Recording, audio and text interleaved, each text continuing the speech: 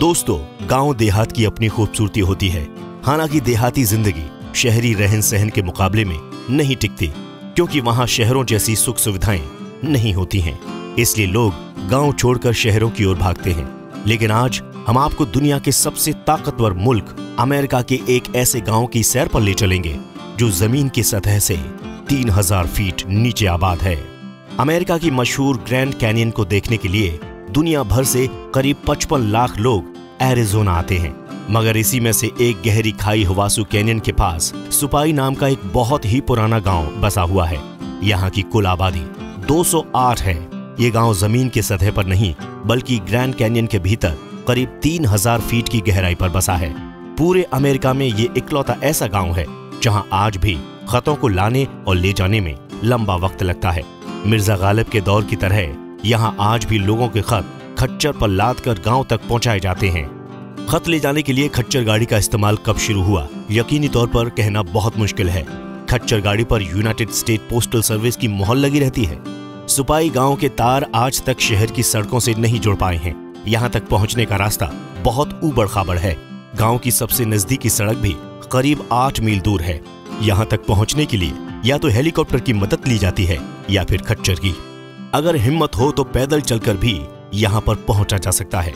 सुपाई गाँव में grand canyon के गहरे राज छुपे हैं। ये गाँव चारों ओर से बड़ी और ऊँची चोटियों से घिरा हुआ है। गहरी खाई में छुपा ये गाँव करीब एक हज़ार साल से आबाद है। यहाँ पर अमेरिका के मूल निवासी रेड इंडियन रहते हैं। गाँव में रहने वाली जनजाति का नामकरण गाँव की खूबसूरती की बुनियाद पर हुआ है। हवा सुपाई का अर्थ है नीले और हरे पानी वाले लोग। यहाँ के लोग गाँव के पानी को पवित्र मानते हैं। मान्यता है, यहाँ निकलने वाले फिरोजी पानी से ही इस जनजाति का जन्म हुआ है। गाँव तक पहुँचने के लिए खारदार झाड़ियों के बीच से भूल भुलैया जैसी खाइयों से होकर गुजरना पड़ता है। ऐसे ऊबड़ खाबड़ रास्ते से गुजरते हुए ये एहसास भी नहीं होता कि आगे स्वर्ग जैसी जगह का दीदार होने वाला है। गाँव पूरी तरह से ट्रैफ़िक के शोर से आज़ाद है।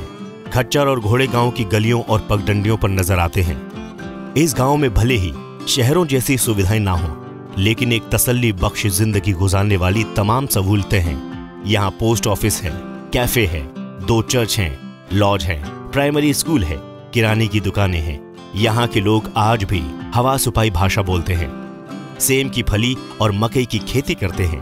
रोज़गार के लिए लच्छेदार टोकरियाँ बुनते हैं और शहरों में बेचने जाते हैं। टोकरियाँ बनाना यहाँ का पारंपरिक व्यवसाय है। गाँव से शहर को जोड़ने का काम खच्चर गाड़ियों से होता है। गाँव वालों की ज़रूरत का सामान इन खच्चर गाड़ियों पर ही लाद कर लाया जाता है।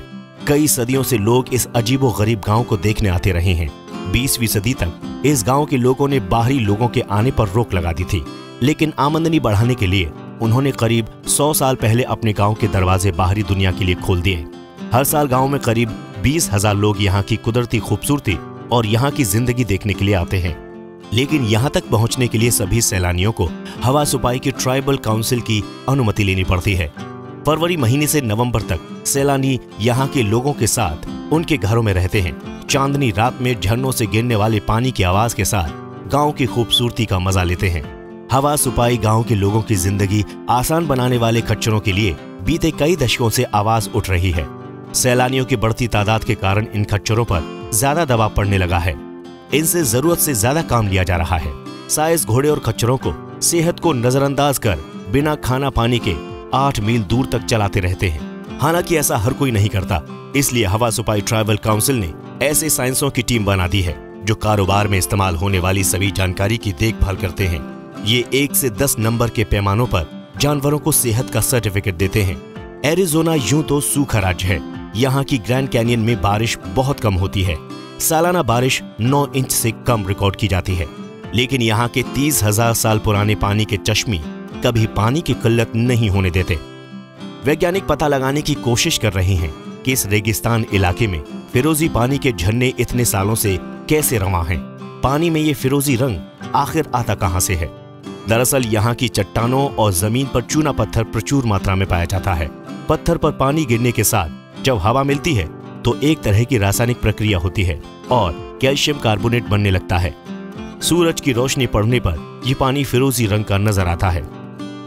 यूरोपीय लोगों के अमेरिका आकर बसने से पहले हवा सुपाई का रकबा लगभग 16 लाख एकड़ था। लेकिन इस इलाके के कुदरती जखीरे पर जब सरकार और सरहदी लोगों की नज़र पड़ी तो उन्होंने यहाँ कब्जा करना शुरू कर दिया। व्यापारियों ने यहाँ रहने वाली बहुत सी जनजातियों को जबरन उखाड़ फेंका। इनके हक के लिए हवा सुपाई के आदिवासियों ने लंबी लड़ाई लड़ी। 1919 में अमेरिका के राष्ट्रपति थियोडोर रूजवेल्ट ने ग्रैंड कैनियन को नेशनल पार्क सर्विस का हिस्सा बनाया। सरकारी योजना के तहत यहाँ के बहुत से लोगों को रोज़गार मिला, लेकिन इसके बावजूद अपनी ज़मीन के लिए इनकी लड़ाई जारी रही। 1975 में राष्ट्रपति रोजाल फोर्ड ने करार के तहत एक लाख पिचासी हज़ार एकड़ ज़मीन का कंट्रोल हवा सुपाई के लोगों को दे दिया। आज यहाँ के लोग सिर्फ़ कैनियन तक ही सीमित नहीं हैं, बल्कि यहाँ के जंगलों में शिकार करने का हक भी इन्हें मिला हुआ है। आज हवा सुपाई की पहचान एक खुद मुख्तार सूबे के तौर पर है। यहाँ के लोग अपनी सरकार खुद चलाते हैं ट्राइबल काउंसिल का चुनाव गाँव के लोग करते हैं और अपने कानून खुद बनाते हैं। हाल के सालों में हवा सुपाई पर सबसे बड़ा खतरा सैलाब का मंडरा रहा था। 2008 और 2010 में यहाँ ज़बरदस्त बारिश हुई थी जिसमें बहुत से सैलानी फंस गए थे। सुपाई को बाहर के इलाके से जोड़ने वाली पगडंडी भी पूरी तरह से तबाह हो गई थी। 2011 में यहाँ के लोगों ने एरिजोना के गवर्नर के साथ अमेरिकी सरकार से आर्थिक मदद मांगी।